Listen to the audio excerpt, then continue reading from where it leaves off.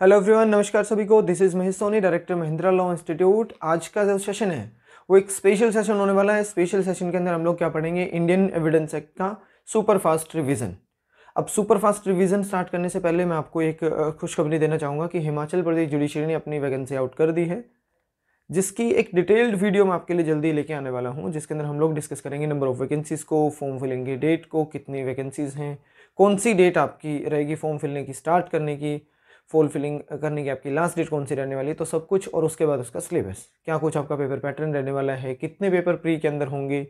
क्या सिलेबस रहेगा? कितने मार्क्स का आपका एक पेपर रहेगा? तो ये सब कुछ डिस्कशन करने वाले हैं एक सेपरेट वीडियो के अंदर।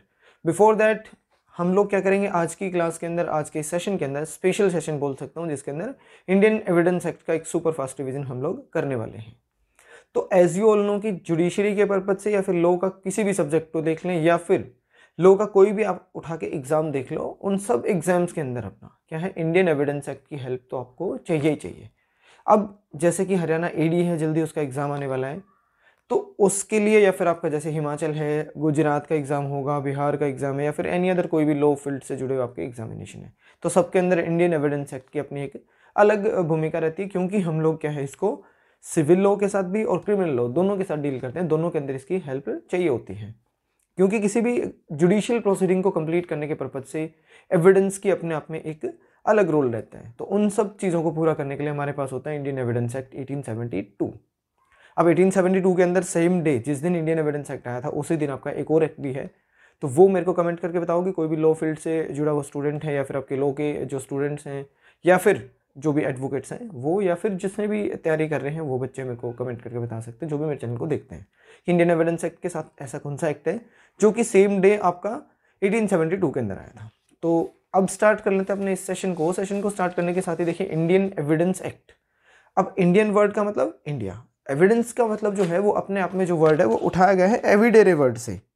लेटिन टर्म है एविडेरे जिसका मतलब होता है टू क्लियर और टू प्रूव किसी भी चीज़ को प्रूव करना या फिर किसी भी बात को क्लियर कर देने से मतलब हमारा होता है कि वो एविडेंस है। अब एविडेंस की डेफिनेशन जो है, एक तरीके से वो दे रखी है section three of the Indian evidence act के अंदर। अब क्या वो अपने आप में एग्जॉस्टिव डेफिनेशन है, क्या कुछ नहीं है तो सब कुछ अब डिटेल में स्टार्ट करने वाले हैं एक बेसिक चीज़ों से। तो सबसे पहला जो अपना सवाल रहता है कि क्या ये प्रोसीजरल लॉ है या फिर ये आपका सब्सटेंटिव लॉ है? तो ये अपने आप में एक मिक्सर लॉ है दोनों का, जिसको हम लोग क्या बोलते हैं part of the procedural law है, इस वजह से हम लोग इसको एडजेक्टिव लॉ के नाम से बोलते हैं। फिर बात है कि कब ये इनेक्टमेंट हुई थी इसकी तो 1872 के अंदर हो रखी है। फिर बात आती है कि इसको ड्राफ्ट किसने कर रखा है? सर जेम्स स्टीफन नाम के महाशय जी रहे हैं, जिन्होंने क्या है, इस एक्ट को जो है 1872 के अंदर सबमिट कर दिया था फाइनली ड्राफ्ट करने के बाद। तो father of Indian evidence act आ जाए तो सर जेम्स स्टीफन लिखेंगे। उसके बाद है कि क्या ये अपने आप में एग्जॉस्टिव एक्ट है? तो नॉट एग्जॉस्टिव इन एक्ट रहेगा। फिर है कि क्या ये लेक्स फोरी है? या फिर आपका लेक्स लॉसी है तो ये इस लॉ को हम लोग क्या बोलते हैं? लेक्स फोरी लॉ बोलते हैं। लॉ फॉर्म के रूप में ये आपका लॉ ऑफ़ द कंट्री के रूप में ये एप्लीकेबल होता है। फिर बात आता है कि ये सिविल और क्रिमिनल दोनों प्रोसीडिंग के ऊपर ये एप्लीकेबल रहता है। कितने पार्ट हैं इसके अंदर? टोटल थ्री पार्ट्स हैं टोटल चैप्टर आपके इलेवन हैं, उसके बाद section number one sixty seven total इसके अंदर दिए हुए हैं। फिर आपकी बात आती है कि ये इनटू फोर्स कब हुआ था? कब इनटू फोर्स की डेट इसकी है? First of September eighteen seventy two की है। फिर ये आपका जो भी जुडिशियल प्रोसीडिंग होती है, उन सब के ऊपर ये एप्लीकेबल रहेगा, लेकिन जो भी एडमिनिस्ट्रेटिव इंक्वायरीज वगैरह होंगी, उनके ऊपर ये एक्ट अपनी एप्लीकेबिलिटी नहीं रखता है। फिर बात आती है कि जो एफिडेविट है, उसके ऊपर ये लॉ अप्लाई नहीं होगा। फिर बात आती है कि ये एक्चुअली जो है, किस पे बेस्ड है? ये इंग्लिश लॉ पे बेस्ड होता है।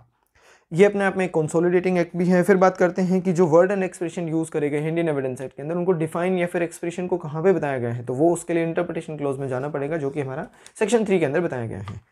सेक्शन थ्री सारे वर्ड्स एक्सप्रेशन जो भी यूज़ कर रखे हैं, उनको क्या करता है? डिफाइन करता है। फिर आपकी जो कोर्ट की डेफिनेशन दे रखी है, वो अपने आप में क्या है? वो अपने आप में क्या है कि एक नॉट एग्जॉस्टिव डेफिनेशन बता रखी है। उसके अंदर कि वो सारे पर्सन जो कि एंटाइटल होंगे एविडेंसेस लेने के लिए। तो एक स्पेसिफिकली कुछ नहीं बताया गया, उसके अंदर बता रखा है कि ये पर्सन हो सकते हैं जिनको कोर्ट अलाउड करे, या फिर कोई भी जज हो सकते हैं मैजिस्ट्रेट हो सकते हैं। तो इन सबको हमने जज बोला, इन सबको हमने मैजिस्ट्रेट बोला तो मैजिस्ट्रेट और कलेक्टिवली क्या होगा? एक कोर्ट की डेफिनेशन के अंदर फोल कर जाएँगे। फिर बात करता है कि जो फैक्ट हैं फैक्ट कैसे हो सकते हैं? इंटरनल फैक्ट हो सकते हैं एक्सटर्नल फैक्ट हो सकते हैं साइकोलॉजिकल फैक्ट हो सकते हैं फ़िज़िकल फैक्ट हो सकते हैं एक्चुअल हो सकते हैं, या फिर आपके पॉजिटिव और नेगेटिव फैक्ट्स भी आपके हो सकते हैं। फिर बात आती है इसके अंदर कुछ और फैक्ट है जो कि प्रिंसिपल फैक्ट नेचर के होते हैं, कुछ आपके एविडेंसरी फैक्ट नेचर के होते हैं। तो जो आपके प्रिंसिपल फैक्ट हैं, उनको हम लोग क्या बोलते हैं? फैक्टम प्रोबेंडम बोलते हैं, और जो आपके एविडेंशरी फैक्ट हैं, उनको हम लोग फैक्टम प्रोबेंस बोलते हैं। फिर आपके जो फैक्ट्स हैं जिसके ऊपर डिस्प्यूट हो मतलब कोई भी ऐसा एक फैक्ट है जिसके ऊपर एक पार्टी जिसको डिनाई करती है सेकेंड पार्टी उसको एक तरीके से एजर्ट करती है और एक पार्टी डिनाई करती है तो वहाँ पे क्या होगा, एक डिस्प्यूट आएगा। तो उसको हम लोग बोलते हैं, जो भी डिस्प्यूटेड फैक्ट है, उसको बोला जाता है fact in issue these facts are controversial between the parties जिनके जिस फैक्ट के ऊपर आपका बेसिकली कॉन्ट्रोवर्सी होती है दो पार्टीज़ के बीच में तो उन्हीं को हम लोग क्या बोलते हैं? फैक्ट इन इशू बोला जाएगा। कुछ आपके रेलिवेंट फैक्ट होते हैं। रेलिवेंट फैक्ट बोले तो कि एक ऐसा फैक्ट है जो दूसरे के साथ लीगली कनेक्टेड हो और जो कि section number five to fifty five के बीच में फॉल करता है नेक्स्ट चैप्टर के अंदर आएगा। तो वहाँ पर जब आपके दो फैक्ट आपस में कनेक्ट हो जाएँगे तो उनको हम लोग बोलते हैं कि ये रेलिवेंट फैक्ट है।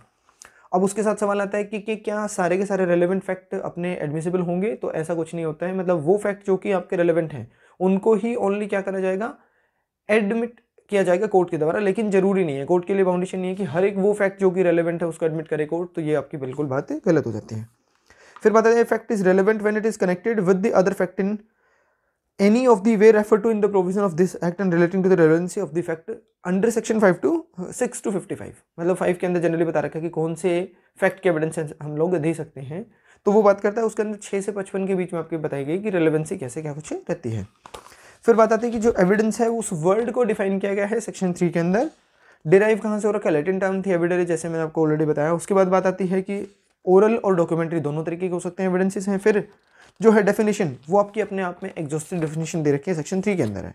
ये आपके सर्कमस्टांशियल एविडेंस भी हो सकते हैं डायरेक्ट एविडेंस भी हो सकते हैं। और बहुत सारी लिस्ट है। वो मैं आपको मेंस के टाइम पे बताऊँगा कि किस किस तरीके के विटनेसेस और किस किस तरीके के आपके एविडेंसेस है जो हो सकते हैं। किस विटनेस के द्वारा दिया गया, जो भी फैक्ट होगा उसको कोर्ट एडमिट करेगी एज एन एविडेंस या फिर नहीं करेगी तो वो सब कुछ मेंस के टाइम पे डिस्कशन करेंगे। फिर जो एविडेंस है वो अपने आप इंक्लूड करता है इलेक्ट्रॉनिक एविडेंसेस को भी, जो कि वीडियो कॉन्फ्रेंस के थ्रू किए गए किसी भी वीडियो कॉल को भी अपने आप में एक एविडेंस मानता है कोर्ट फिर बोलता है कि ये आपका क्रिमिनल और जो आपके सिविल केसेस हैं, उनके अंदर स्टैंडर्ड ऑफ़ प्रूफ जो होगा वो अपने आप में अलग अलग रहता है। फिर स्टैंडर्ड ऑफ़ प्रूफ एक तरीके से बियॉन्ड रीजनेबल डाउट आपको प्रूव करना पड़े किसी चीज़ को या फिर प्रोबेबिलिटी के ऊपर आप प्रूव कर सकते हो। प्रीपोंडरेंस ऑफ़ प्रोबेबिलिटी एक होता है, एक दूसरा आपका होता है। हंड्रेड परसेंट क्लियर करना इन द सेंस मतलब कि बियॉन्ड रीजनेबल डाउट जहाँ पर कोई भी डाउट ना बचे कि कोर्ट जो है, उस कंक्लूजन पर पहुँचने के लिए उसके पास क्लियर कट सारे ग्राउंड हो तो वो आपका बियॉन्ड रीजनेबल डाउट बोला जाता है। फिर आपका जो आ जाता है सेक्शन फोर प्रोवाइड करता है कुछ प्रिजम्पन्स के रिगार्डिंग आपकी बात करता है मे प्रिज्यूम है शेल प्रिज्यूम है और आपका कंक्लूसिव प्रूफ होता है, उनकी बात करते हैं। तो जो आपकी तीन काइंड्स की होती हैं, एक प्रिजम्पन ऑफ़ फैक्ट होगा, दूसरा प्रिजम्पन ऑफ़ लॉ होगा, फिर आपकी mixed presumption of fact and law हो सकती है। The word may presume come under the presumption of the fact and it is always rebuttable जो भी आपका प्रिजम्पन ऑफ़ फैक्ट है, वो आपका मे के मे प्रिज्यूम के अंदर आएगा। और उसको हम लोग क्या है रिबट कर सकते हैं। कहीं से भी कोई भी चीज़ लेके आओगे आप उसके खिलाफ और उसको क्या है कोर्ट पलट सकती है कोर्ट के अंदर। शेल वर्ड आपका प्रिजम्पन ऑफ़ लॉ के अंदर आता है, जो कि आपकी रिबटेबल नेचर की रह सकती है। फिर आपका आता है कंक्लूसिव है, जो कि अपने आप में हमेशा क्या रहती है इरिबेटेबल रहती है, जब तक कि जिस सेक्शन के अंदर वो बात बताई गई है, उसी सेक्शन के नीचे कोई प्रोवाइजो ना मिले। जनरली सेक्शन हम लोग देखते हैं इसके लिए one one two one one three section forty one one one two आपका क्या बात करता है? कंक्लूसिवनेस बताता है किसी भी बच्चे की लेजिटिमेसी के रिगार्डिंग तो ड्यूरिंग द वैलिड मैरिज और during the continuance of the valid marriage जब भी किसी कपल का बच्चा होगा तो वो उन्हीं कपल का बच्चा माना जाएगा। ये अपने आप में कंक्लूसिव एविडेंस है। ये कंक्लूसिव प्रूफ है कि वो उसी का बच्चा है। लेकिन अगर हस्बैंड या फिर वाइफ दोनों में से कोई भी पर्सन ऐसा प्रूफ कर दे जनरली हस्बैंड की बात करते हैं। हस्बैंड अगर ये प्रूफ कर दे कि उसका, उसकी वाइफ के साथ कोई भी फ़िज़िकल रिलेशन नहीं रहा है उसकी कंसीव करिए। तो वहाँ पे प्रूव आपका करा जा सकता है कि ये उसका बच्चा लेजिटिमेट नहीं है। तो इस बात को जो प्रिजम्पन ऑफ़ फैक्ट हम प्रिजम्पन ऑफ़ लॉ जो कि कंक्लूसिव नेचर की लगाई थी, उसको हम लोग क्या कर सकते हैं? रिबटॉजी हो सकती हैं। फिर उसके लिए सेक्शन फाइव डील करता है। उसके बाद की जो भी फैक्ट हैं, वो वो क्या दिए जाएँगे? एविडेंस के लिए दिए जाएँगे। मतलब जो भी रेलिवेंट होंगे ना, उन्हीं के एविडेंस जो है, दिए जा सकते हैं। एविडेंस में भी given of the fact in issue और रेलिवेंट फैक्ट या तो फैक्ट इन इशू के आप एविडेंस दोगे या फिर अपने फैक्ट इन इशू के बाद अपने रेलिवेंट फैक्ट के लिए आप अपना एविडेंस दे सकते हो। फिर आपका है कि there is difference between the relevancy of the fact and admissibility of the fact है। रेलिवेंसी अपने आप में जीनस बोली जाती है एडमिसिबिलिटी अपने आप में स्पीसीज होती हैं।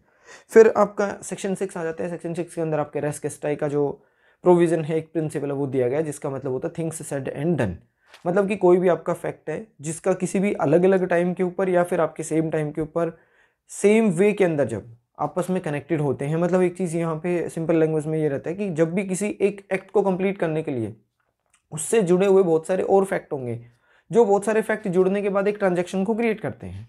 तो ये जो एक कड़ी बनेगी, एक तरीके से आपकी जो कड़ी बनेगी मतलब सीरीज़ ऑफ़ एक्ट है। तो वो सारे के सारे अपने आप में क्या है, उनके ऊपर तो इशू होता ही नहीं है। मतलब किसी का मर्डर हुआ तो मर्डर करने के लिए क्या करोगे? किसी ने चाकू खरीदा है, कोई अपनी क्या कर रहा है, एक तरीके से अपना कोई कॉन्स्पेरेसी रच रहा है या फिर गाड़ी चोरी कर रहा है या फिर आपने गन चोरी करी है, किसी ने शूटिंग करी, उसके बाद मर्डर हुआ है। तो जो बीच में जो ट्रांजेक्शन के बीच में अपने जो फैक्ट घटित हुए, जैसे चोरी करना या फिर किसी की गन लूटना या फिर गाड़ी चोरी करके लेके आना तो ये फैक्ट इन इशू तो नहीं है, लेकिन वो कनेक्टेड है मेन फैक्ट इन इशू के साथ। तो इसलिए ये बाकी जो बचे हुए फैक्ट है, वो भी अपने आप में रेलिवेंट हो जाएँगे। तो ये सेक्शन सिक्स के अंदर फोल्ड करता है। रेस्गेस्टाई का प्रोविज़न है। ये अपने आप में एक लेटिन फ्रेज है। लेटिन फ्रेज बोला जाता है रेस्गेस्टाई और जिसका मीनिंग होता है things said and done in the course of the same transaction है। फिर आपके कुछ साइकोलॉजिकल फैक्ट होते हैं जो कि कंपनी करते फ़िज़िकल एक्ट में भी the part of the res gestae है। इसका भी पार्ट हो सकते हैं। फिर narrative of the past occurrence by the way of standard is not the part of the res gestae फिर रूल ऑफ़ जो रेस्केस्टाई है, वो अपने आप में एक एक्सेप्शन होती है रूल ऑफ़ हियर से की। ये से मतलब किसी की, कही की बात आपने सुनी और आपने आगे जाके कह दी तो आपकी बात अपने आप में एक एविडेंस नहीं बोली जाएगी।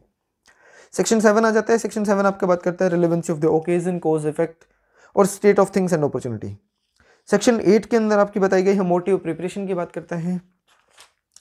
फिर relevancy of conduct is also mention है सेक्शन एट सेक्शन एट के अंदर आपके कंडक्ट के बारे में बताया गया है। कंडक्ट आपका चाहे कोई सा भी हो प्रीवियसली भी हो सकता है और सब्सिक्वेंट भी हो सकता है।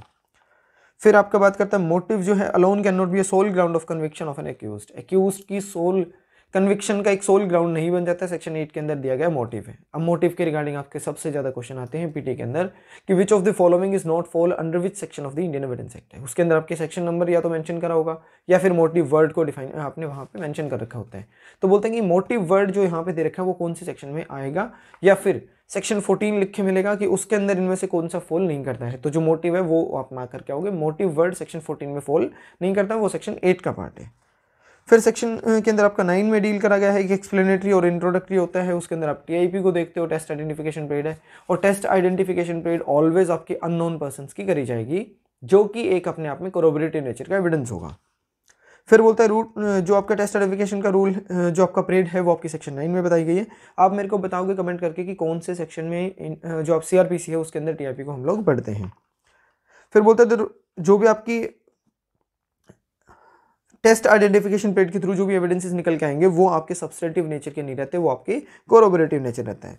फिर सेक्शन टेन में आ जाता है कि टेन जो है वो अपने आप में डील करता है जो कॉन्स्पेरेटर के लिए। कॉन्स्पेरेसी से रिलेटेड आपकी things said and done by the conspirator वो सारी चीज़ें आपकी रिलेवेंट होंगी सेक्शन टेन के अंदर। है जो आपका सेक्शन टेन है, वो आपका एक तरीके से थ्योरी ऑफ़ अर्जेंसी की बात करता है, और थ्योरी ऑफ़ एजेंसी एक तरीके से। डॉक्टर ऑफ़ एजेंसी का रूल आपका अप्लाई होता है सेक्शन टेन के अंदर। है जो भी सारे पर्सन उसके अंदर होंगे, वो सारे के सारे कॉन्स्पेरेसी के अंदर जो पर्सन होंगे, उन सबको होल्ड लाइबल करा जाएगा under section 120 A and B of the Indian penal code also फिर आपका बात करता है रूल ऑफ़ प्ली बाई के बात बारे में बात करी गई सेक्शन 11 के अंदर की वो फैक्ट जो कि अदरवाइज़ रेलिवेंट नहीं है लेकिन रेलिवेंट हो जाएँगे सेक्शन 11 के हिसाब से। तो यहाँ पे रूल ऑफ़ एलिबाई का मतलब प्रेजेंट एल्सवियर है। At the time of the commission of the crime a person is present elsewhere तो ये चीज़ आपकी सेक्शन 11 डील करता है। फिर एक्चुअली मतलब कि किसके द्वारा प्ली ली जाती है इस बात की? तो ये एक्चुअली आपकी एक्यूज के द्वारा प्ली ली जाती है कि मैं वहाँ पे प्रेजेंट नहीं था at the time of the commission of the crime में। फिर आपका बोलता है कि the fact showing the existence of the state of mind तो वो आपकी बात करता है इंटेंशन के बारे में हो सकती है नॉलेज हो सकती है गुड फेथ हो सकता है इलविल हो सकती है रैशनेस हो सकती है नेग्लिजेंस हो सकता है, या फिर आपके रेलिवेंट फैक्ट जो कि सेक्शन फोर्टीन के अंदर ये फॉल करते हैं। तो ये सारी चीज़ें सेक्शन फोर्टीन के अंदर डील करी गई हैं। उसके बाद आपका फिफ्टीन आ जाएगा सिक्सटीन आ जाएगा, एक बार उनको देख लेना जाके। फिफ्टीन जैसे कि मतलब बताता है कि कुछ जो एक्ट हुआ है, कोई भी घटना हुई, वो आपकी इंटेंशनली थी या फिर आपकी एक्सीडेंटल था।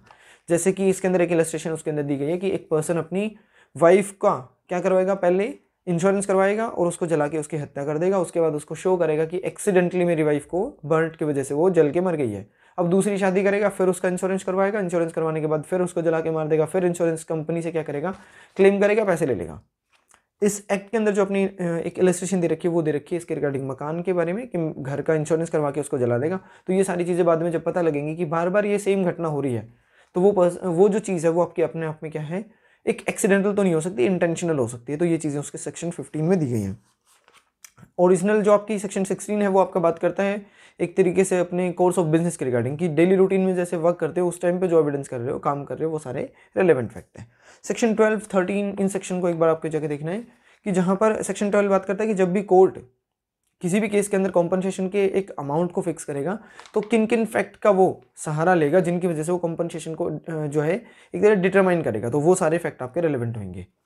सेक्शन ट्वेल्व थर्टीन के अंदर आपको बताया गया है कि कस्टम से रिलेटेड है, कोई राइट है पब्लिक राइट है, वो एग्जिस्ट करते हैं, नहीं करते हैं, किस तरीके से, वो सारी चीज़ें थर्टीन में बताई गई है। अब come to the section number seventeen to thirty one जो कि आपके एडमिशन और अपना कन्फेशन के रिगार्डिंग बात करते हैं। तो section 17 is to be read with section 58 58 के अंदर आपका बताया गया है जुडिशियल कन्फेशन या फिर जुडिशियल एडमिशन एक तरीके से है, और एक्स्ट्रा जुडिशियल एडमिशन जो होगा सेक्शन 17 में फुल करता है। 17 के अंदर आपका सिर्फ़ डेफिनेशन बताई गई एडमिशन की कि एक स्टेटमेंट होती है जो कि एक डॉक्यूमेंट्री या फिर आपकी ओरली हो सकती है। ऑलवेज सजेस्टिव इन नेचर रहेगी वो हमेशा, फिर उसके बाद बात करता है कि जो स्टेटमेंट मेड करेगी किसी भी पर्सन के द्वारा, जो कि सेक्शन 18 टू 20 के अंदर फॉल करेगी, वो सारी चीज़ें आपकी एक तरीके से वो पर्सन के बारे में बताता है कि कौन कौन से पर्सन है जो कि एडमिशन कर सकते हैं। तो डायरेक्टली कोई भी पर्सन कर सकता है उसके भी पे कोई और पर्सन कर सकता है जिसको उसने अथॉरिटी दे रखी है। या फिर जिस पर्सन से उसने क्या करा कि तरीके से अपना इंटरेस्ट डिराइव कर रखा है तो वो भी पर्सन अपना एडमिशन कर सकता है। फिर admission may be made by the party और एजेंट और person showing should is in the representative capacity उनके द्वारा करा जा सकता है जो भी रिप्रेजेंटेटिव कैपेसिटी के अंदर आपका शूट फ़ाइल uh, करेगा। फिर admission is admissible as an evidence because it is a statement made by the person against himself खुद के खिलाफ आपका एविडेंस मतलब कि एक तरीके से देना स्टेटमेंट एक एक होती है एक्सकल्पेटरी स्टेटमेंट और एक होती है एक्सकल इनकल्पेटरी स्टेटमेंट इनकल्पेटरी मतलब कि मैं अपने आप को फंसा रहा हूँ, मैं बोलता हूँ कि मैंने ऑफेंस कर रखा है इंक्लूड करता हूँ. एक्सकल्पेटरी के अंदर मैं अपने आप को एक्सक्लूड करता हूँ कि मैंने कोई ऑफेंस है जो कमिट नहीं कर रखा है. अब एडमिशन में और अपने कन्फेशन के अंदर क्या फ़र्क है बेसिकली कन्फेशन वो होता है जहाँ पे डायरेक्टली किसी गिल्ट को एडमिट कर लेना. कि हाँ मैंने इसको मारा है। तो ये अपने आप में फॉल करेगा कन्फेशन की स्टेटमेंट के अंदर। और जो एडमिशन है, उससे जुड़े हुए अदर फैक्ट को एक्सेप्ट द गिल्ट इट एक इट आपका क्या है? गिल्ट को छोड़ के बाकी सारी चीज़ों को आपने क्या कर लिया एडमिट कर लिया तो वो फॉल करेगा अपनी एडमिशन के अंदर। तो ये आपके एडमिशन के पार्ट के अंदर आता है। फिर बोलता है कि जो भी फैक्ट आपके, किसी पार्टी ने एडमिट कर लिया तो उनको कोर्ट के अंदर प्रूव करने की ज़रूरत नहीं होती है, जो कि सेक्शन 58 में बताया गया।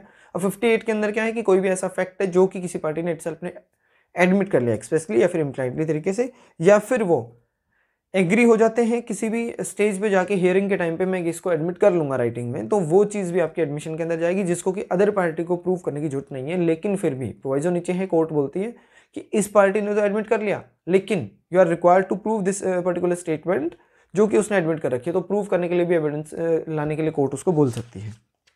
फिर आपका बोलता है कि relevancy and admissibility of the admission has been provided in section twenty one of the Indian evidence act फिर एडमिशन हमेशा आपके क्या होने चाहिए? सेल्फ हार्मिंग स्टेटमेंट होनी चाहिए, जो कि आपके इनकलपेटरी स्टेटमेंट के रिगार्डिंग हो। थर्टी वन बोलता है कि एविडेंशियली वैल्यू एडमिशन की क्या होगी, उसके लिए बताता है। फिर एडमिशन बोलता है कि अपने आप में कंक्लूसिव प्रूफ नहीं है। It may operate as an estoppel जो कि आपका थर्टी वन के अंदर दिया गया मतलब जिस पर्सन ने कोई भी फैक्ट आपका एडमिट कर लिया तो वो अपने आप में स्टॉपल के तौर पे रहेगा सब्सटेंटिव नहीं होगा। स्टॉपल में तो उस पर्सन को बाद में रोका जा सकता है कि आपने पहले कुछ और बोला था, आज कुछ और बोल रहे हो। तो इस चीज़ को करने से उसको रोका जा सकता है तो जो कि सेक्शन थर्टी वन में डील करा जाएगा। फिर बोलता है कन्फेशनल स्टेटमेंट के अंदर कन्फेशन के अंदर अब क्या क्या होगा? ये भी अपने आप में एक एडमिशन है। लेकिन एडमिशन किसका है? डायरेक्ट गिल्ट का एडमिशन कर लेना है।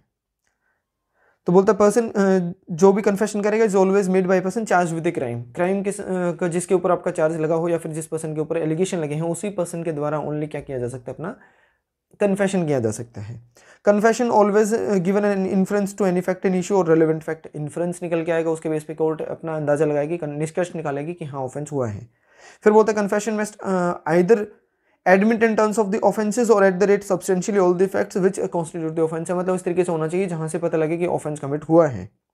फिर बोलते हैं स्टेटमेंट में भी inculpatory in nature inculpatory nature हो सकता है एक्सकलपेटरी इन नेचर भी हो सकता है but only inculpatory statement amount to the confession मतलब किसी भी पर्सन ने स्टेटमेंट दी है कि कोई भी इनकलपेटरी और एक्सकलपेटरी का मिक्सर तो court can admit the inculpatory part and exclude the exculpatory part also फिर बोलता है statement which partly confessional may be admitted in evidence जो भी आपका पार्टली कन्फेशनल लगेगा, उस उसको एडमिट कर सकती है, बाकी को कोर्ट छोड़ सकती है।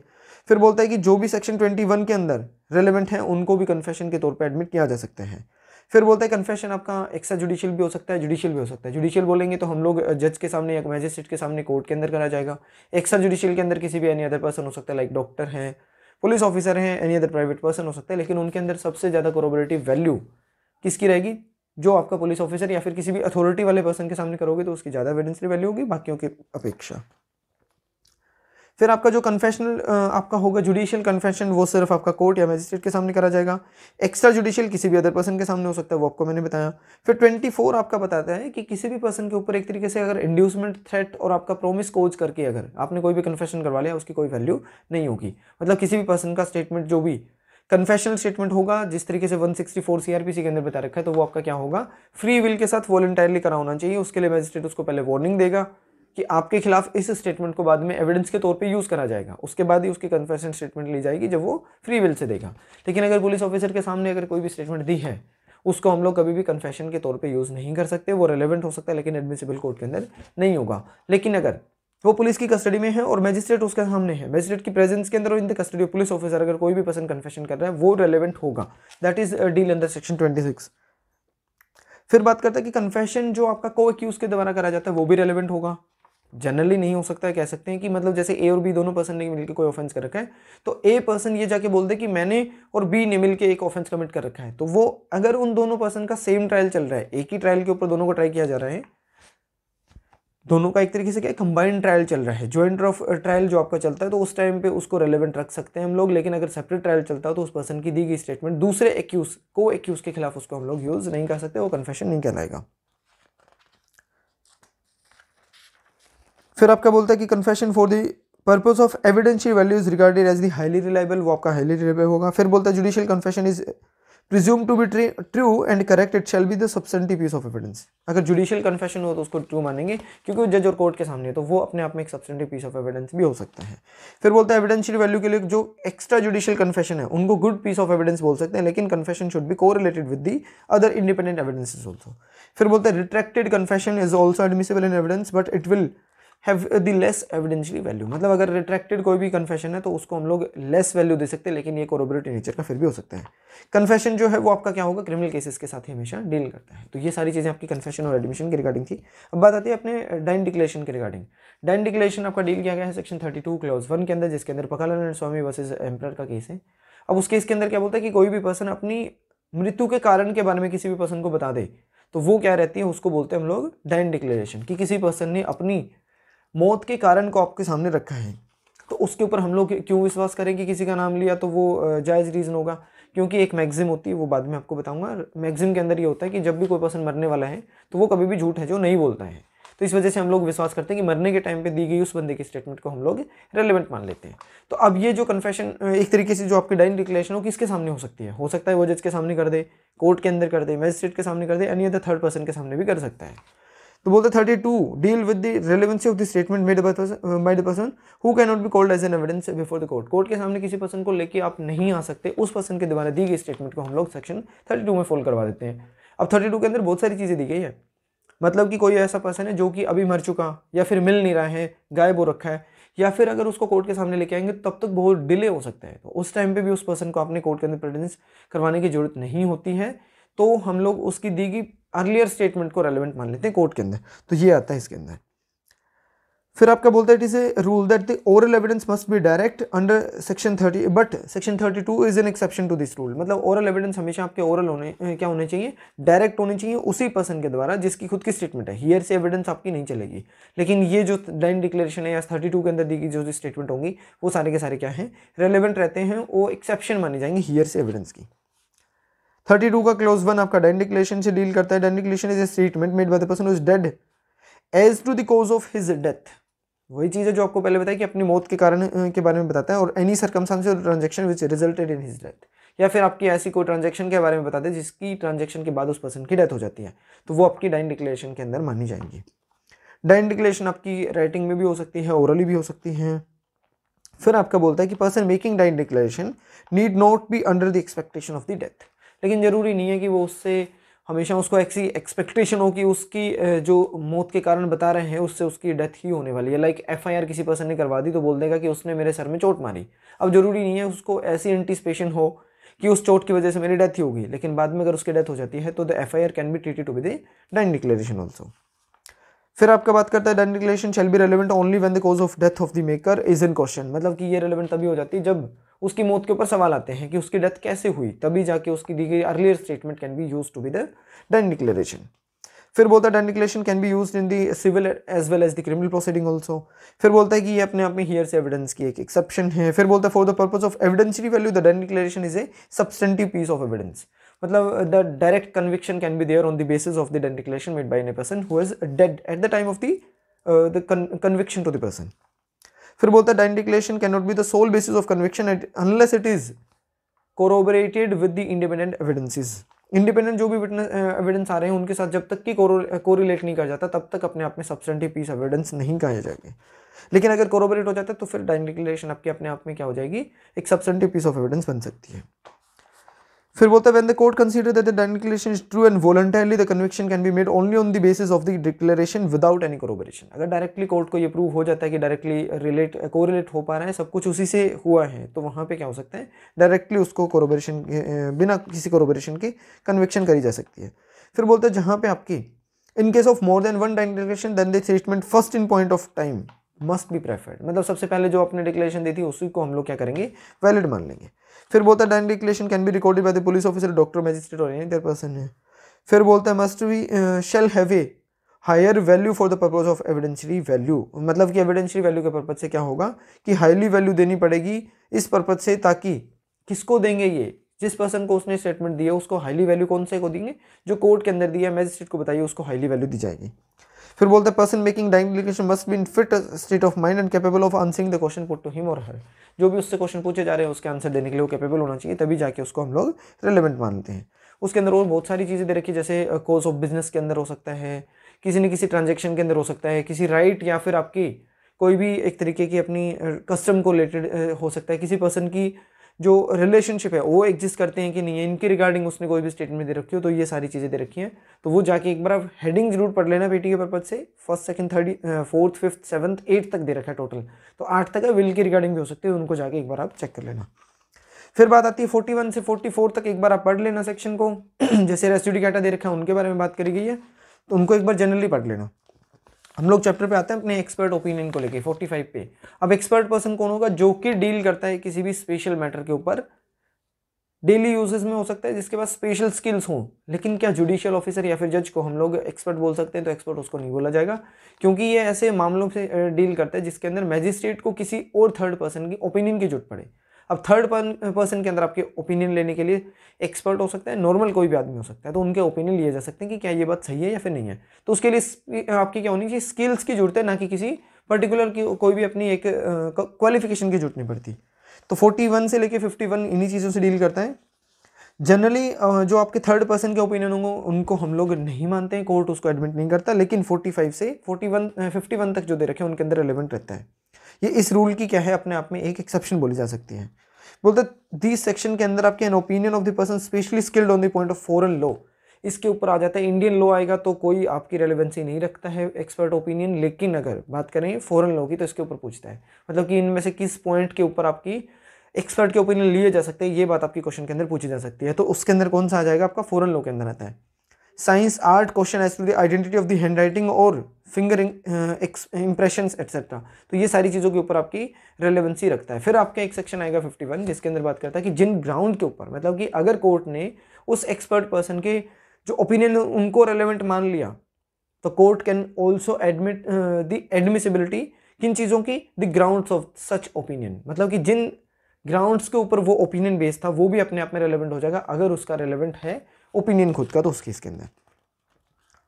फिर पर्सन आपका बोलता है कि एक्सपर्ट कौन होगा? तो ऐसा कोई भी पर्सन जो कि acquire the special knowledge skill and experience in the any field such as the science art और लैंग्वेज एक्सेट्रा तो इन चीज़ों के ऊपर किसी पर्सन की स्पेशल स्किल है तो वो पर्सन आपका एक्सपर्ट बन सकता है। ओपिनियन जो है वो आपका एडमिसेबल तभी होगा जब court is unable to form its own opinion on the subject अगर सब्जेक्ट के ऊपर किसी भी तरीके से कोर्ट अपने ओपिनियन नहीं ले पा रहा है, अपने उस कंक्लूजन तक नहीं पहुँच रहा, तब जाके उसकी रेलिवेंसी रहेगी जो भी एक्सपर्ट पर्सन ने अपनी ओपिनियन दिए लेकिन अगर किसी मैटर को लेकर एक से ज़्यादा कोई भी ओपिनियन के लिए अपने, एक से ज़्यादा अपने क्या बुलाए? एक्सपर्ट बुला लिए। और उस केस के अंदर दोनों, दो या चार बंदे बुलाए और उन सब के क्या है? अलग अलग व्यूज़ निकल के आए। मेजोरिटी के अंदर अलग है एक तरीके से तो उस केस में तो माना जा सकता है, लेकिन अगर इक्वल में बढ़ जाते हैं वो उनके ओपिनियन तो कोर्ट अपने आप के खुद के ओपिनियन भी निकाल सकती है, उसके बाद। क्या एक्सपर्ट एविडेंस है? वो अपने आप में सब्सटेंटिव एविडेंस नहीं होगा ये सब्सटेंटिव पीस ऑफ़ एविडेंस नहीं होगा it has to be corroborated by the other relevant facts also फिर आपका बात करता है कि expert opinion is weak type of evidence है which need the independent and reliable corroboration the fact of the given case फिर 46 आपका support और inconsistent with the expert opinion होंगे, उनको भी रेलिवेंट माना जाएगा। फिर किसी भी पर्सन की हैंड अगर चेक करनी है तो उसके लिए एक्सपर्ट के ओपिनियन लेने तो 45 में जाएगा, लेकिन इलेक्ट्रॉनिक एक तरीके से फॉर्म में जाएँ तो 45 ए में भी जा सकते हो। फिर बोलता है कि सेक्शन 47 के अंदर भी जा सकते हैं, जब किसी भी नॉर्मल पर्सन के ओपिनियन लेने हो नॉर्मल पर्सन कौन होगा? Who is acquainted with the hand of the other person किसी भी पर्सन की हैंड के बारे में जिस पर्सन को नॉलेज होगी, वो भी पर्सन अपने ओपिनियन दे सकता है, लेकिन वो एक्सपर्ट नहीं बोला जाएगा।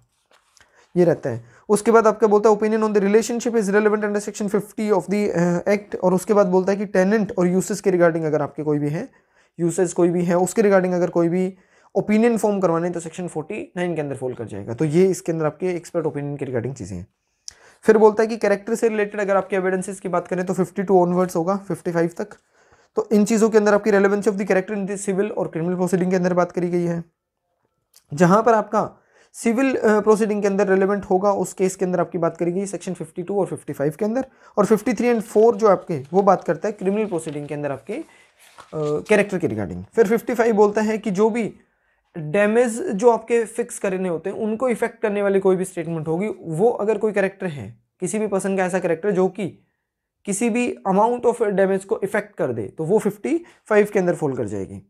उसके ऊपर एक एग्ज़ाम्पल है सपोज़ ए एंड बी है, वो आपके फ्योन्से और फ्योन्सी है, उनकी शादी होने वाली है। शादी से जस्ट पहले लड़के को पता लग जाता है कि the girl is not of the good character तो उस केस के अंदर वो क्या करता है, उस रिलेशनशिप को ब्रेक डाउन करना चाहता है कि मैं इसे शादी नहीं करूँगा।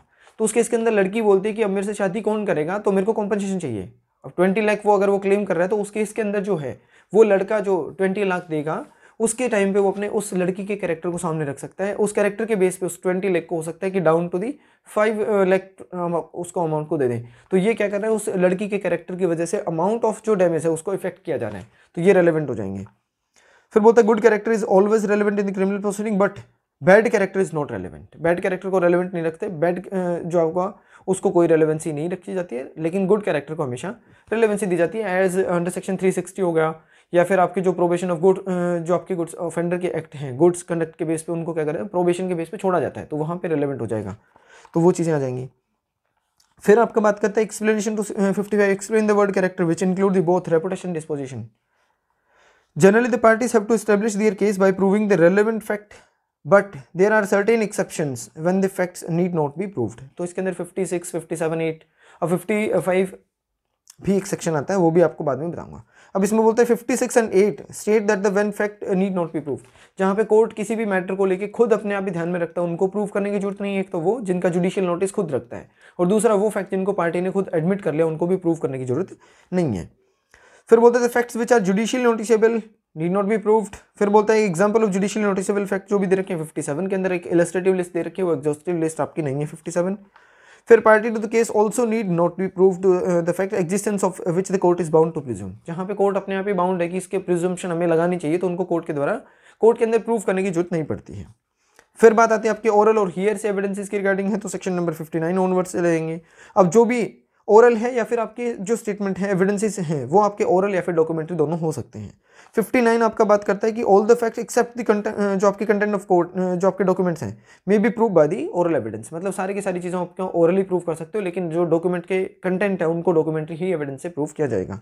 फिर बोलता है ओरल एविडेंस की जो स्टेटमेंट है कोर्ट के अंदर, वो परमिट करे जा सकती है required to be made by the आपकी विटनेसेस है before it relation to the matter of the factor inquiry मतलब जो ओरल एविडेंस है, वो कोर्ट मांग सकता है किसी भी विटनेस को बुला के कि आपको इसकी स्टेटमेंट देनी है, या फिर कोर्ट एडमिट कर सकता है पार्टीज़ को कि आप अपने विटनेस को बुला के उनके ओरल स्टेटमेंट दिलवा सकते हो।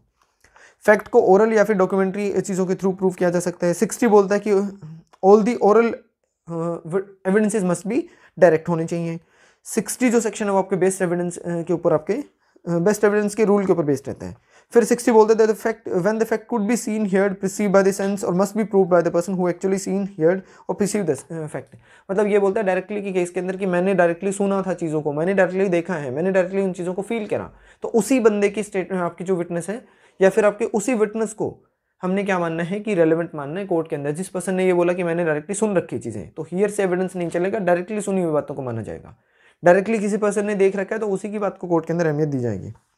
तो ये रहते हैं। सिक्सटी जो है हियर से एविडेंस को एक्सक्लूड करता है treat the hearsay evidence as no evidence at all उसको बोलते हैं हियर से एविडेंस अपने आप में कोई एविडेंस होता ही नहीं है। Hearsay evidence is not admissible because the statement of the witness is not based on the personal knowledge but on the on what he heard from the others किसी भी अदर पर्सन ने जो सुन रखा है, उन बातों को बताया गया खुद की कोई नॉलेज उसके अंदर कंटेन नहीं करी गई है। इस वजह से क्या करते हैं कि हियर से बातों को हम लोग एक्सक्लूड करते हैं। उसको कोई एविडेंस नहीं मानते। Hearsay is only in direct secondary evidence फिर बोलता है six seventeen to thirty one thirty two thirty three thirty four to thirty eight forty five to fifty one and provides to the section sixty provides the exception to the rule of evidence जो आपकी rule of here से evidence है, उसकी exception बताई गई है section छः में, सत्रह से इकतीस, बत्तीस, तैतीस, चौंतीस से अड़तीस तक forty five to fifty one और जो आपका सेक्शन सिक्सटी है, उसके प्रोवाइजो के अंदर। तो ये चीज़ें आपकी आ जाती है ओरल और हियर एविडेंस के अंदर। Now come to the primary and secondary evidence primary और सेकेंडरी एविडेंस यहाँ पे हो गई। जैसे आपकी डॉक्यूमेंट्री चीज़ों से डील करते हैं कि मतलब वो सारी चीज़ें जो आपकी डॉक्यूमेंट के अंदर होनी चाहिए, वो ओरिजिनल नहीं है। तो उसके केस के अंदर हम लोग सेकेंडरी एविडेंस दे सकते हैं। प्राइमरी कौन सा होगा? द डॉक्यूमेंट इट है। Documentary evidence means all the जो भी डॉक्यूमेंट है, जो कि प्रोड्यूस करे जाते हैं कोर्ट के अंदर इंस्पेक्शन के पर्पज से तो वो प्राइमरी होंगे मतलब जो ओरिजिनल डॉक्यूमेंट है वो, उसकी फ़ोटो क्या होगी सेकेंडरी चले जाएँगे। डॉक्यूमेंट्री एविडेंस में भी प्राइमरी और सेकेंडरी हो सकते हैं। सिक्सटी वन आपके बात करता है कि उस डॉक्यूमेंट को कंटेंट को क्या है, हम लोग प्रूव करते हैं प्राइमरी एविडेंस से या फिर सेकेंडरी से। फर्दर सेक्शन 64 फोर रूल आपका बेस्ट एविडेंस के रूल को बताता है। According to which all the document produce before the court shall be produce prove by the primary evidence it मतलब जनरल रूल ये रहता है कि प्राइमरी से करो, लेकिन अगर प्राइमरी अवेलेबल नहीं है तो आप सेकेंडरी भी जा सकते हो। फिर बोलते हैं सर्कमस्टांसेस जहाँ पे आपके 65 के अंदर दे रखे हैं जिन सर्कमस्टांसेस के अंदर हम लोग क्या कर सकते हैं सेकेंडरी एविडेंस को कोर्ट के अंदर प्रोड्यूस है जो कर सकते हैं। अब 62, 63 ये चीज़ें आपको पढ़नी पड़ेंगी। 63 के अंदर बताया गया कि कौन कौन से डॉक्यूमेंट है किस तरीके से इसको सेकेंडरी एविडेंसेस बोला जा सकता है कौन से प्राइमरी होंगे। सिक्सटी आपको पढ़ना है। फिर आपका बात करता है there is no there is an exhaustive list of kind of secondary evidence admissible in section 63 63 के अंदर आपके एग्जॉस्टिव एक लिस्ट दे रखी है, जिसके अंदर बोल सकते हैं कि इन एविडेंसेस को हम लोग प्रूव कर सकते हैं या फिर कोर्ट के अंदर एडमिसिबल कर सकते हैं एज एन सेकेंडरी एविडेंस फिर बोलते हैं secondary evidence means and include the certified copies copies made by the mechanical process mechanical process मतलब कि कॉपी आपने थी, वो तैयार कर रखी मशीनरी वे में। तो वो सब कुछ copies made from or compared with the original or counterpart of the document, oral account of the content of the document, ये secondary के अंदर चले जाएँगे सारे। फिर आपका बोलता है सेक्शन 65 सर्कमस्टांसेस बताता है जहाँ पर आपके जो लिस्ट दे रखी है कि कब सेकेंडरी एविडेंस आपके अलाउड करे जा सकते हैं। अभी प्राइमरी अगर किसी अपोजिट पार्टी के पास है, वो लेके नहीं आ रहा तो आप सेकेंडरी ले आओ। प्राइमरी एविडेंस जल के खत्म हो चुका है डिस्ट्रॉय होगा, खो गया कहीं, उस बात को प्रूव कर दो सेकेंडरी ले आओ। तो ये चीज़ें 65 के अंदर बता रखी हैं। कब कब अलाउड होंगे, जहाँ पे जो original document is in the position of the adverse party और person legally bound to produce where existence और content of the original is admitted या फिर original document has been destroyed और लॉस्ट है, या फिर original document is not easily movable या फिर डॉक्यूमेंट आपका जो ओरिजिनल है, वो आपका पब्लिक नेचर का है तो सेकेंडरी ही लेके आओगे। फिर बोलते हैं certified copy of document is allowed या फिर आपके original consistent of the numerous account बहुत सारी कॉपीज हैं, उनको कोर्ट के अंदर प्रूव नहीं करना सेकेंडरी एविडेंस आप लेके आ सकते हो। तो वहाँ पे सिक्सटी फाइव फोल्ड करेगा। फिर बात करते हैं आपके पब्लिक और प्राइवेट डॉक्यूमेंट की, जो कि सेवेंटी फोर फाइव और सिक्स के अंदर दे रखा है। सेवेंटी फोर आपका डील करता है कि पब्लिक डॉक्यूमेंट आपकी किन किन चीज़ों को बताएगा। सेवेंटी फाइव बोलता है पब्लिक डॉक्यूमेंट के छोड़ के कोई भी और होंगे, उन सबको प्राइवेट डॉक्यूमेंट बोला जाएगा। जो भी होंगे उन सब की प्राइवेट की या पब्लिक की जो पब्लिक डॉक्यूमेंट जो उनकी कॉपी क्या होगी? सेवेंटी सिक्स के अंदर मिलेगी, जो कि किसी ऑफिसर की उसके पोजिशन में होगी। तो वहाँ पे आप अप्लाई करोगे फ़ीस जमा करवाएँगे, उसका सर्टिफाइड कॉपी आपको मिल जाएगी। फिर बोलता है certified copies of the public document shall be presumed as a genuine उसको जेनवन माना जाता है। फिर आपके 79 टू 90 तक आपकी प्रिजम्पशन की बात करी गई है डॉक्यूमेंट के रिगार्डिंग उनको एक बार आप जस्ट कंटेंट्स को पढ़ लेना इंडेक्स बेस्ड क्वेश्चन रहता है वहाँ से। फिर आपके बर्डन ऑफ़ प्रूफ की बात करी गई है। उनसे पहले एक बार 91 और 2 के अंदर आ जाते हैं। 91 आपका बात करता है कि जब भी किसी कॉन्ट्रैक्ट से रिलेटेड आपकी टर्म्स एंड है टर्म्स हैं कंडीशन हो सकती हैं, या फिर आपकी other disposition of the properties है, उन सब चीज़ों को एक बार अगर डॉक्यूमेंट के अंदर लिख लिया गया तो उनके ओरल एविडेंसेज आप नहीं दे सकते। वो डॉक्यूमेंट इट आपको प्रूव करना पड़ेगा। कोर्ट के अंदर इट डॉक्यूमेंट आपने प्रोड्यूस करना है। लेकिन हो सकता है वहाँ पर उसकी सेकेंडरी एविडेंस को अलाउड कर दिया जाए। तो ये 91 है। 92 के अंदर बोलता है, उनके बाद भी अगर कोई सेपरेट अकाउंट सेपरेट मतलब कि वो सारे डॉक्यूमेंट जो 91 में प्रूव हो चुके हैं, उनके बाद उसी को कंटिन्यू करता है 92 जिसके अंदर बताया गया कि उसके साथ कुछ प्रोवाइजो है छः प्रोवाइजो जिनके अंदर आपने कुछ चीज़ें राइटिंग में कर ली, लेकिन उसके बाद आपने कुछ ओरली भी कर रखी हैं तो उन ओरल वालों को अलाउड किया जा सकता है नाइन्टी के अंदर। लाइक कि ए और बी ने कोई भी एक रेंट एग्रीमेंट तैयार कर रखा है कि फ़र्स्ट ऑफ़ जनवरी से मेरा जो रेंटल मकान जो है वो आपके किराए के अंडर में आ जाएगा, आपके पोजीशन में आ जाएगा। लेकिन एक्चुअल में वो पाँच तारीख को आता है। तो क्या जो उसको रेंट है वो एक तारीख से देने पड़ेंगे या फिफ्थ से देने हैं? तो फिफ्थ से देगा वो। तो ये बात जो फिफ्थ वाली थी वो उसने डॉक्यूमेंट के अंदर नहीं लिखी। मतलब any statement regarding which the document it is silent जहाँ पर डॉक्यूमेंट आपका साइलेंट है, उसकी रिगार्डिंग आपकी ओरल स्टेटमेंट दी जा सकती है। तो इस तरीके की कुछ प्रोवाइजो है। कंडीशन प्रेसिडेंट की बात करेंगे। या फिर आपके कुछ सेपरेट आपका एक सब्सिक्वेंट ओरल एग्रीमेंट हो गया था तो ये सारी चीज़ें जो कि कैंसिल कर रहा था फ़र्स्ट वाले पूरे डॉक्यूमेंट को तो वो सारी चीज़ें हैं। जैसे ए और बी का पैसे का लेन देन हुआ था राइटिंग में कि मैं एक जनवरी को पैसे लेके जा रहा हूँ और एक मार्च को पैसे वापस दे के जाऊँगा। एक मार्च को देने से पहले उसने 26 फरवरी को पैसे वापस कर दिए, लेकिन वो जो डॉक्यूमेंट था जिसके अंदर ये बातें लिखी तो उसको कैंसिल नहीं करा था। अब जो ए पर्सन है, जिससे पैसे उधार लेके गए थे मतलब क्रेडिटर वो एक मार्च को क्या करता है? कोर्ट में जाके केस फ़ाइल कर देता है कि एक मार्च को देखो जी, इसने पैसे वापस मेरे को नहीं करे हैं। तो इस चीज़ के रिगार्डिंग क्या है? बी अपने ओरल एविडेंसेस दे सकता है कि मैंने छब्बीस फेब को पैसे दे दिए थे, लेकिन उसको कैंसिल है जो नहीं करा था। तो ये नाइन्टी के अंदर फोल करेंगे। फिर आपके नाइन्टी से लेके और हंड्रेड तक आपकी कुछ एक तरीके से अपनी इरेगुलरिटी की बात करी गई है। मतलब किसी के अंदर अगर किसी तरीके की लेटेंट और पेटेंट एम्बिग्यूटी की बात करी गई है इरेगुलरिटी सॉरी मतलब एम्बिग्यूटी की बात करी गई जहाँ पे कमी है। तो कुछ है जहाँ पे पेटेंट है, कुछ आपकी लेटेंट एम्बिग्यूटी है।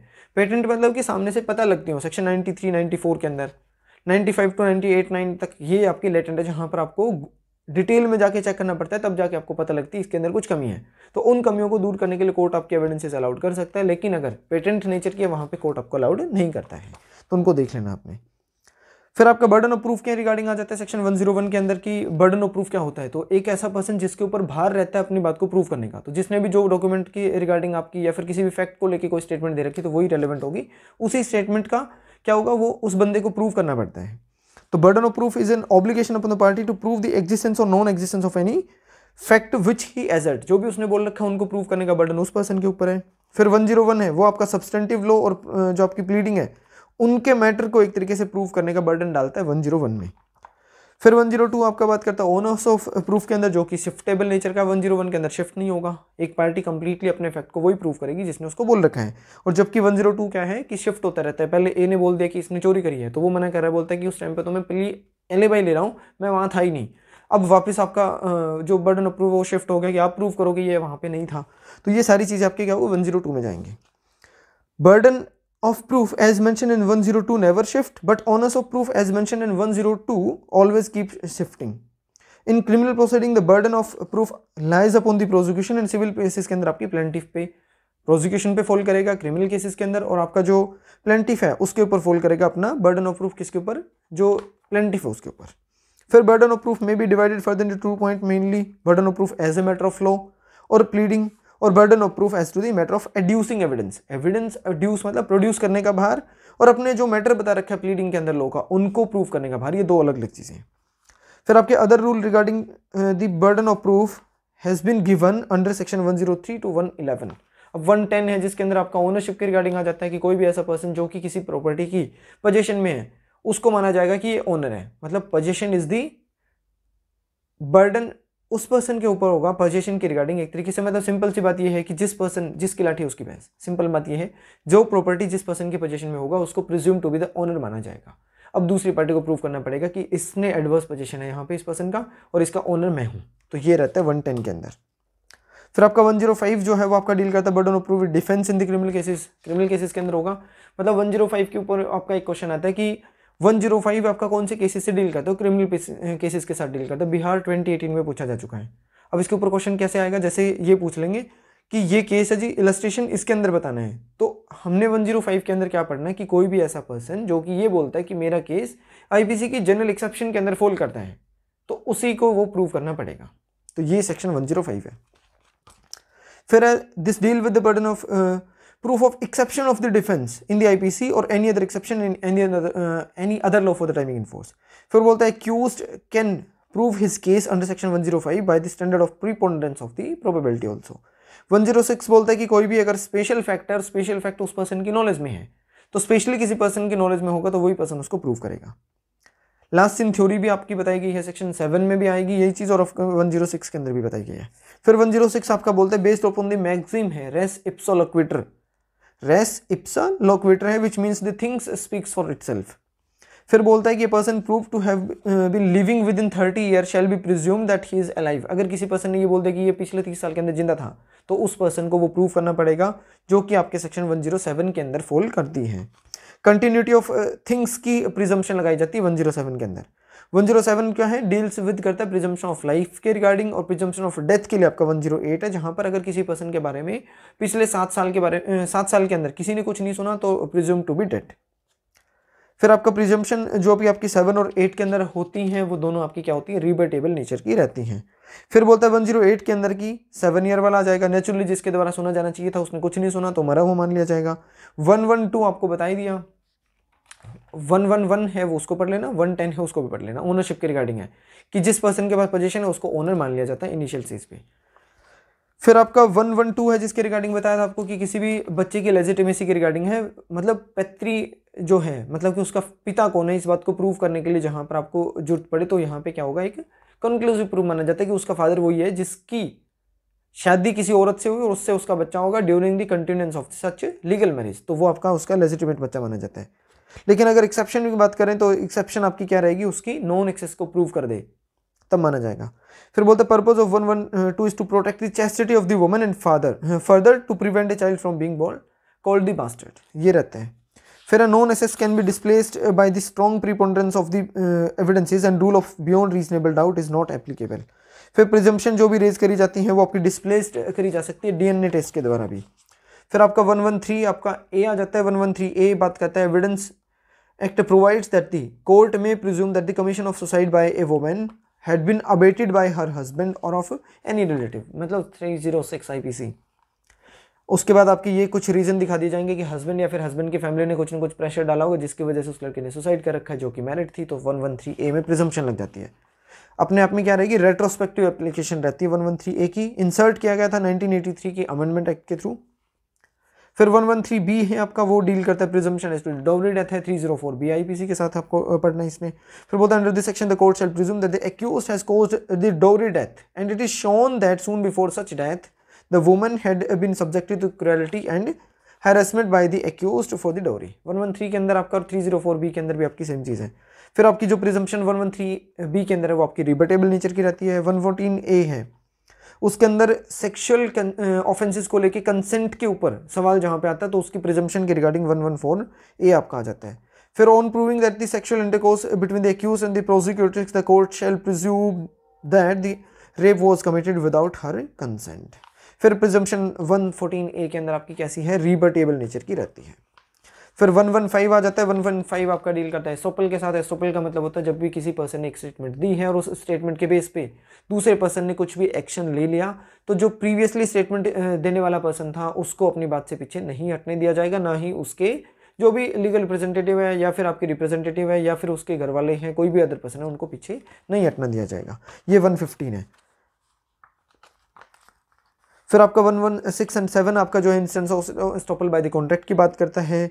स्टॉपल अपने आप में रूल ऑफ़ एविडेंस की बात करता है। प्रिंसिपल ऑफ़ जो स्टॉपल है based on the maxim allegans contraria non audiendus which means a person alleging contrary fact will not be heard मतलब कि एक बार पहले कुछ और बोल रहे थे, आज कुछ और बोल रहे हो।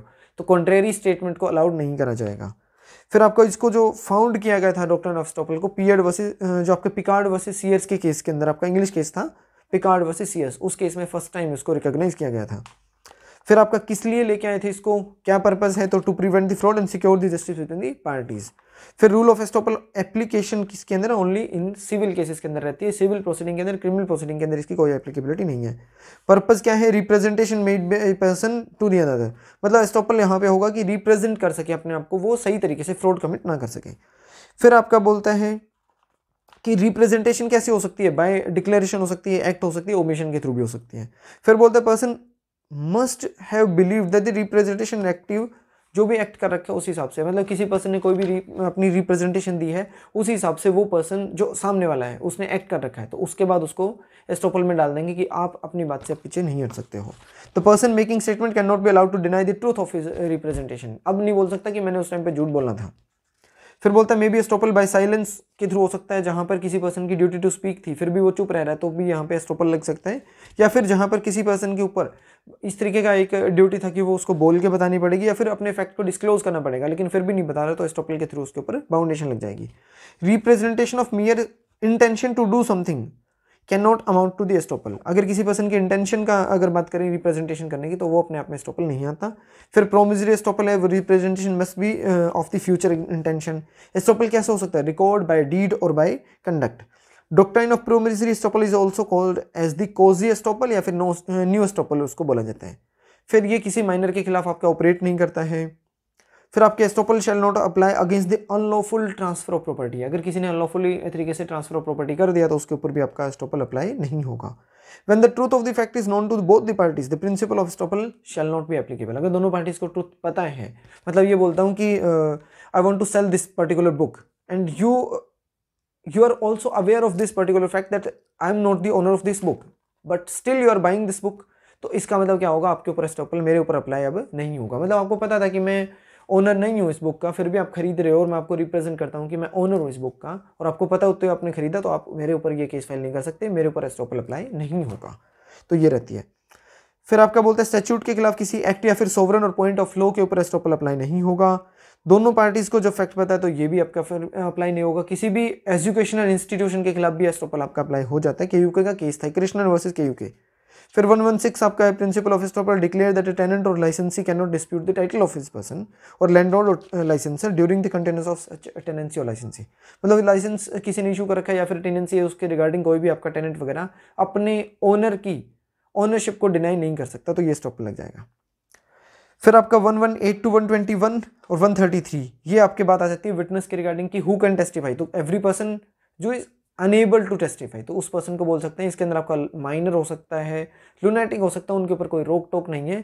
जब तक कि कोर्ट को ये प्रिजम्पशन नहीं हो जाती कि ये पर्सन आपका प्रिवेंट हो रहा है अंडरस्टैंडिंग से मतलब उसको क्वेश्चन समझ नहीं आ रहा आंसर रेलिवेंट नहीं दे सकता रैशनल आंसर देने में एबल नहीं है तो उस टाइम पे उसको रोका जा सकता है। बाकी सारी सिचुएशन में अगर कोई भी पागल है, उसको समझ आ रहा है, उससे पूछें कि आपको किसने पीटा, वो किसी पर्सन का नाम ले रहा है तो वहाँ पर वो पर्सन आपका टेस्टिफाई है जो कर सकता है। 118 आपका यही बात करता है। कि all person are competent to witness but these point या these person must not be incapable of evidence और understanding the question put to them because of the tender age extreme old age छोटी as की वजह से, बहुत ज़्यादा as की वजह से, या फिर आपकी डिज़ीज़ की वजह से, या इसी तरीके की कोई और आपकी बीमारी हो सकती है, कोई और कमी हो सकती है, जिसकी वजह से वो पर्सन आपका रैशनल आंसर नहीं दे सकता तो वो टेस्टिफाई नहीं कर पाएगा। फिर आपका बात करता है चाइल्ड ऑफ़ एनी एज में भी कॉम्पिटेंट विटनेस हो सकता है, अगर वो कैपेबल है किसी भी क्वेश्चन को समझने में और उसका रैशनल आंसर देने में। फिर एविडेंस आपका बच्चे के द्वारा जो दिया जाएगा, उसको अपने आप से इग्नोर नहीं करा जाएगा।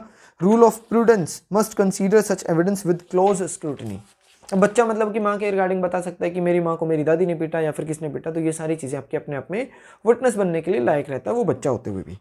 फिर बोलता है victim of the rape rape की विक्टिम में ऑलवेज आपकी क्या रहती है? कंपिटेंट विटनेस रहती है and her evidence must receive the same weightage as attach to any injured in the case of any other crime जैसे इंजर्ड पार्टी का आपका एक कॉम्पिटेंसी रहती है, वैसी ही रेप प्रोसिक्यूटर्स की भी रहती है। फिर डिकोई विटनेस जो भी होंगे use to trap the accused in the police trap and the evidence is given by trap और decoy witness at par with the interest evidence 119 आपका बात करता है। ओरल के रिगार्डिंग अगर कोई भी पर्सन ऐसा जो कि अनेबल टू स्पीक है, जो बोल नहीं सकता, अगर उस चीज़ को, उस बंदे ने लिखित में सारी चीज़ें दे दी तो उस रिटर्न डॉक्यूमेंट को भी ओरल आपके डॉक्यूमेंट के तौर पर यूज़ किया जा सकता है। फिर बोलता है evidence given by the deaf और dumb witness shall be deemed to be the oral evidence उसको माना जाएगा। फिर for recording the evidence of dumb witness shall take court क्या कर सकता है? असिस्टेंट दे सकता है, किसी भी इंटरप्रेटर की, या स्पेशल एजुकेटर की, और उसकी स्टेटमेंट को भी रिकॉर्ड वीडियोग्राफी की तरह करा जाएगा। फिर 120 आपको प्रोवाइड करता है कि proceeding between the husband and wife both husband and wife are competent witnesses as against the one another अब उसके बाद आपकी कुछ प्रीविलेज कम्युनिकेशन की बात आ जाती है 120 से लेकर फर्दर आगे सेक्शन के अंदर। तो 121 से 129 तक जाएगा। तो 121 आपका डील करता है मैजिस्ट्रेट और आपके जो भी जजेस हैं उनके ऊपर कि यहाँ पे ये आपको नॉलेज कहाँ से पता चली, ये बात आपको कहाँ से पता लगी, ये बातें हैं साथ में इसके अंदर आर्बिट्रेटर भी आ जाएगा। तो जज मैजिस्ट्रेट और आर्बिट्रेटर 121 122 आपका बोलता है हस्बैंड और जो वाइफ है, उन्होंने आपस में अगर during the continuance of the valid marriage अगर उन्होंने कोई भी स्टेटमेंट एक दूसरे को बता रखी है, कोई इन्फॉर्मेशन दी है तो वो डिस्क्लोज करने के लिए उनको कॉम्पिटेंट नहीं किया जा सकता, जब तक कि एक दूसरे के खिलाफ कोई भी क्रिमिनल प्रोसीडिंग नहीं चलती हो। 126 से लेके 129 तक आपका प्रोफेशनल कम्युनिकेशन के बारे में बात करेगी। जैसे एडवोकेट्स वगैरह हैं तो उनको जो भी बातें बताई हैं प्रोफेशनल एडवोकेट हैं, जो भी वो हैं, या फिर आपके जो भी ऑफिशियल आएँगे, उनको बताते हैं।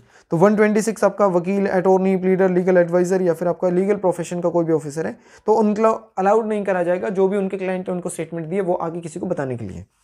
लेकिन अगर उन्होंने कोई भी स्टेटमेंट उनको पता लगी, जिससे कि वो फ्रॉड कराने वाला है उनका क्लाइंट तो वो आगे डिस्क्लोज कर सकते हैं। सेम बातें आपके 127 के अंदर क्या होगी कि जो भी मुंशी वगैरह होते हैं, वकील के, उनके क्लर्क हैं, सर्वेंट हैं, उनके ऊपर भी एप्लीकेबल होंगी, उनको भी आगे डिस्क्लोज नहीं करनी होती।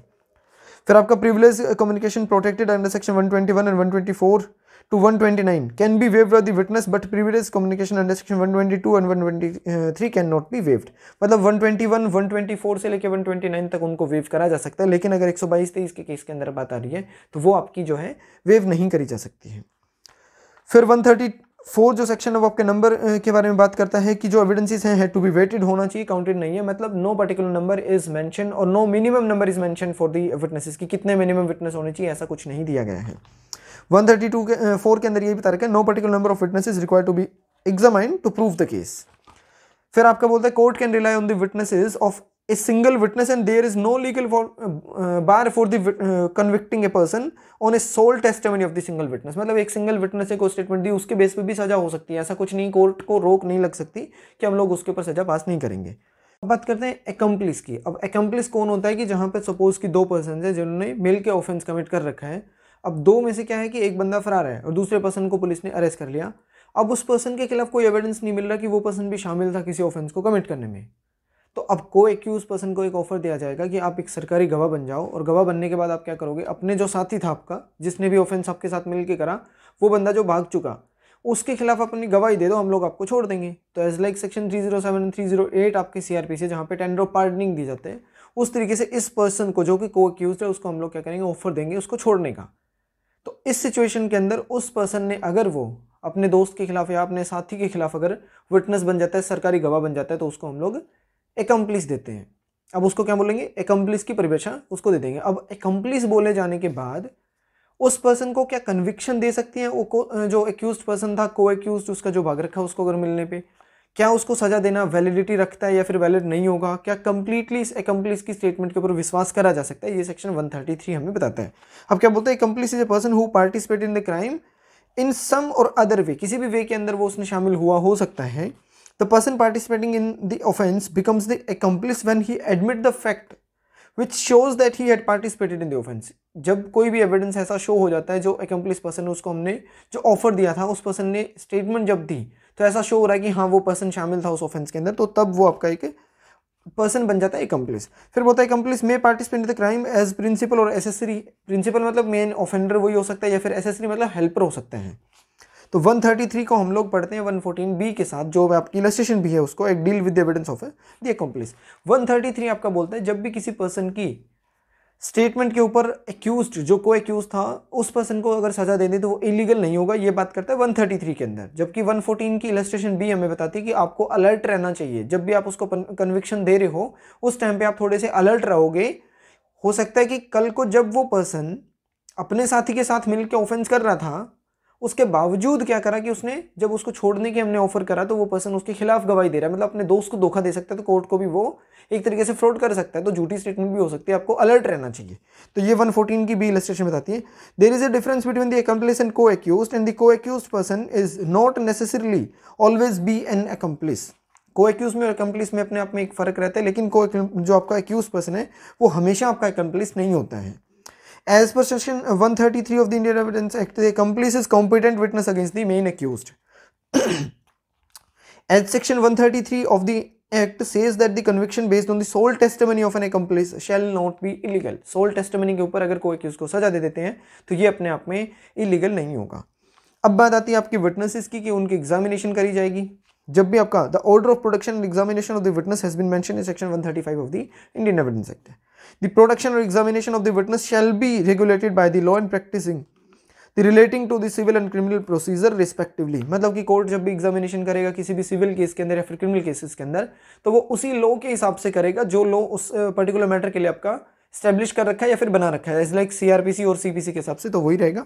फिर बोलता है there is no law as to the order of the production and examination of witness the court is free to use its description जहाँ पर कोई भी लॉ आपका प्रोडक्शन और विटनेसेस के रिगार्डिंग कोई भी पर्सन आपका एग्जामिनेशन के लिए लॉ एस्टेब्लिश नहीं कर रखा है या फिर एग्जिस्टेंस में नहीं है तो कोर्ट अपनी मर्ज़ी से क्या कर सकते हैं? अपनी उस डिस्क्रिप्शन के हिसाब से लॉ को अडोप्ट कर सकता है।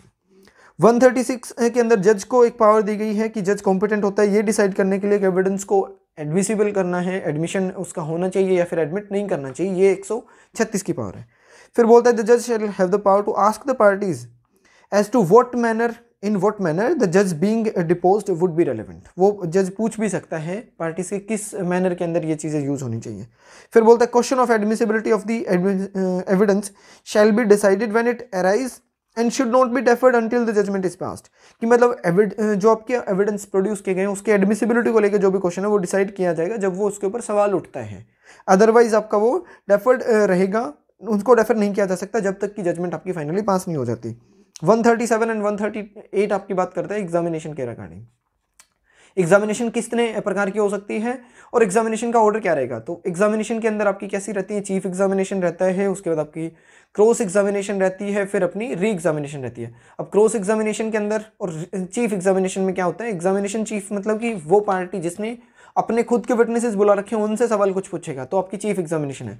जब आपने विटनेसेस बुलाए थे और आपकी अपोजिट पार्टी का जो एडवोकेट है, वो क्वेश्चन पूछेगा तो क्रॉस एग्जामिनेशन है। और उस क्रॉस एग्जामिनेशन के बेस पे अपने ही बुलाए गए विटनेसेस को दोबारा से जब आप एग्जामिनेशन करोगे, वो अपने आप में चीफ एग्जामिनेशन है। इसका ऑर्डर भी यही रहता है एग्जामिनेशन चीफ क्रॉस एग्जामिनेशन उसके बाद आपकी अपनी री एग्जामिनेशन है। तो ये भी वन थर्टी सेवन के अंदर बताई गई है। फिर आपका बात करते हैं तो order of examination shall be examine in chief cross and then re examination अगर रिक्वायर्ड पड़े तो। फिर बोलता है लीडिंग क्वेश्चन मतलब ऐसा कोई भी क्वेश्चन जो कि आंसर को सजेस्ट करता है खुद ही क्वेश्चन क्या तुम्हारा नाम अंकित है, क्या तुम्हारा नाम परम है? तो ये चीज़ें जब सवाल पूछेगा तो मतलब ये अपने आप में क्या हुआ, एक लीडिंग क्वेश्चन है। तो बोला leading question deal with in section 141 to 143 of the Indian Act फिर बोलते हैं leading question can not be ask in the examination chief मतलब अपनी ही पार्टी से खुद के सवाल पूछ रहे हो कि आपका नाम क्या है? इस तरीके का कि आपका नाम क्या अंकित है? या आप अपने ही बुलाए गए विटनेस से ऐसा कुछ नहीं पूछ सकते हो? या फिर री एग्जामिनेशन के अंदर नहीं होंगे। तो ये चीज़ें आपकी कहाँ पूछी जाएगी? क्रॉस एग्जामिनेशन के अंदर पूछी जाती है। फिर 145 आ जाता है कि डील करता है situation when a previous statement of the a witness can be use for the purpose of contradiction contradiction करने के पर्पज से जब यूज़ करी जाएगी 145 लग जाएगा। और फिर आपका बात करता है 157 के अंदर that if the witness may be corroborated by his previous statement अगर जिस पर्सन ने प्रीवियसली कोई स्टेटमेंट दे रखी है, उसके थ्रू उस पर्सन को खुद को ही कोरोबरेट किया जा सकता है तो 157 आ जाएगी। उससे पहले 154 बात करता है होस्टाइल विटनेस की। होस्टाइल मतलब कि एक पर्सन जिसने कि किसी पर्सन को मतलब एज सपोज़ कि एक ए पार्टी है, उसने अपने विटनेस के तौर पे किसी बी पर्सन को बुला रखा है और वो बी पर्सन उसके फेवर में स्टेटमेंट देने के बजाय उसी के अगेंस्ट में स्टेटमेंट देने लग गया। तो इसका मतलब क्या हुआ? वो हॉस्टाइल हो चुका है। जिस पर्सन को फेवर में बुलाया गया था, उसी के अगेंस्ट में बोलने लग जाए तो आपको बोला जाता है कि आप क्या हो गए हॉस्टाइल हो गए हो। तो हॉस्टाइल होने के बाद जो question opposite party cross examination में पूछ सकती थी, वो सारे सवाल, अब वो पार्टी खुद, जिसने उसको विटनेस को बुला रखा, वो क्रॉस एग्जामिनेशन वाले भी क्वेश्चन पूछ सकती है। तो ये 154 के अंदर होस्टाइल विटनेस बताया गया है। उसके रिगार्डिंग कोई होस्टाइल विटनेस वर्ड यूज़ नहीं कर रखा, किसी प्रोविज़न में एविडेंस एक्ट के अंदर किसी सेक्शन में यूज़ नहीं है। लेकिन ये प्रोविज़न होते हैं कि ये आपका हॉस्टाइल विटनेस बोला जाता है। द टर्म होस्टाइल जो आपकी यूज़ जो डिफाइन नहीं कर रखी है hostile witness is a witness who is not ready and willing to tell the truth in favour of the party who called him as a witness जो भी party ने एज ए विटनेस के तौर पे जिसने उसको कॉल कर रखी है, उस पर्सन के फेवर में ट्रूथ बताने के लिए वो पर्सन आपका विलिंग नहीं होता है तो वो पर्सन आपका हॉस्टाइल विटनेस कहलाता है। A person can cross examine his own witness when he become hostile जिसने बुलाया था, वो उसको क्रॉस एग्जामिन कर लेगा। Evidence of the hostile witness is admissible in evidence and there is no bar to convict the accused upon the testimony of the hostile witness if it is corroborated with the other reliable evidences अगर आपका hostile witness होने के बावजूद भी other witnesses से corroborate हो रही है उसकी बातें तो क्या है? उस एक्यूज पर्सन को उस हॉस्टाइल विटनेस की स्टेटमेंट के ऊपर भी पनिशमेंट है जो दी जा सकती है। फिर क्रेडिट ऑफ़ द विटनेस में भी impeach by the cross examination है, ये 146 वाले आ जाएँगे 158 के अंदर आपके आ जाते हैं तो ये सारे सेक्शन आपको एक बार पढ़ने पड़ेंगे।